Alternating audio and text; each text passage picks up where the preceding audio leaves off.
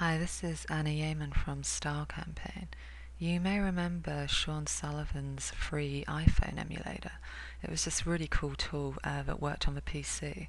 Well, he's recently updated it, so it now runs on the Mac. And as well as supporting the iPhone, it supports the iPad, as you can see here.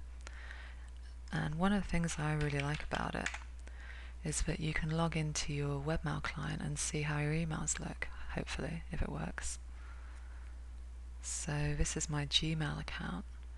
And yeah, so straight away you can see this is the fluid template that we were playing around with recently on the blog. Um, let's try a mobile website.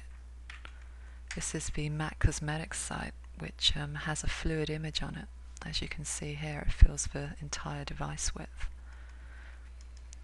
So what I really like about this tool is it has these great keyboard shortcuts. So if we press Control arrow, it will hopefully change the orientation of the iPad. You can see it working here. And if we press Control 2, it um, toggles between the iPad and the iPhone.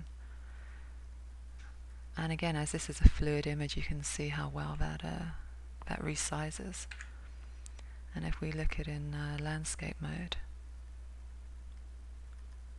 yeah, so it's just a, a really great tool. As I say, it's just recently been updated.